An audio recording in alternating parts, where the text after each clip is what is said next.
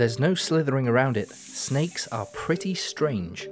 If you've ever seen a snake eat, you'll have noticed their mouths can disarticulate up to five times larger than their own heads to accommodate unusual prey, including birds, lizards, monkeys, and wild boar.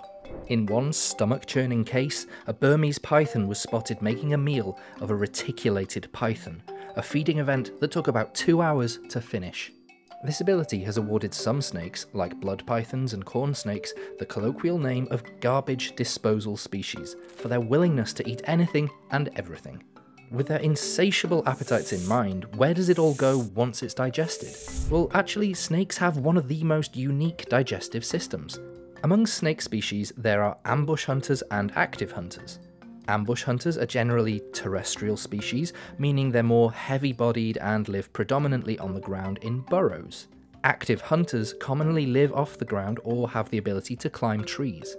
They're usually smaller and more agile with skinnier bodies. Prey choice, frequency of eating, and defecation habits are all closely related to whether a species is an active hunter or an ambush hunter. Active hunters like the semi-arboreal non-venomous rat snake species feed frequently on small rodents, fish and large insects.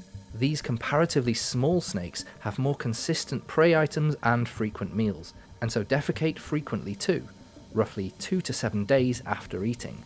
These active hunter species expel more energy through moving and are more negatively impacted by carrying extra fecal weight. Ambush hunters, on the other hand, catch their food by lying in wait and expending little energy, meaning they don't need to eat very frequently. They also eat a more inconsistent and varied diet that can involve both large and small prey.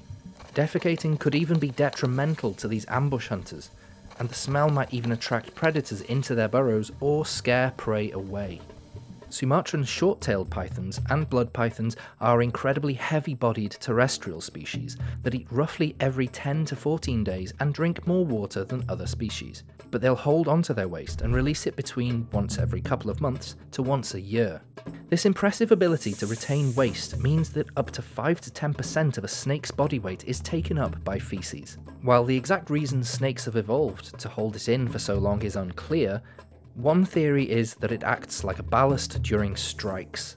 Snakes' unique pooping habits come as a result of their weird and wonderful digestive tracts. They breathe predominantly out of their right lung. While their left lung is comparatively tiny, vestigial, or sometimes absent, their right lung stretches down roughly half of their body. Their esophagus also stretches down the same length as their right lung, leaving just a small area above the cloaca designed for the intestines and other organs. This elongated esophagus is what enables snakes to swallow prey whole.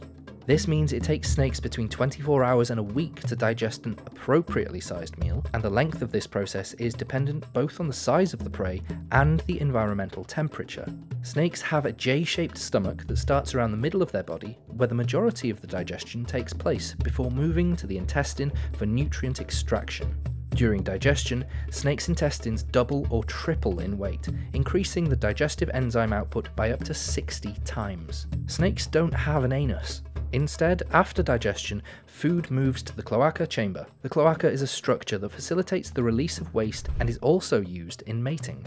Some snake species get the majority of their water from their food, so their waste is often very dry and hard.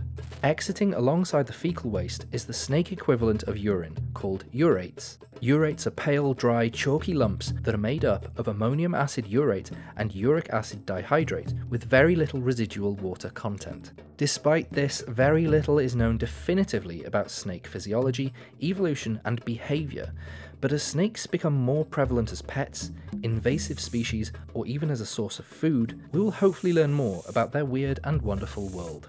Thank you for watching IFL Science. Please subscribe for more science videos.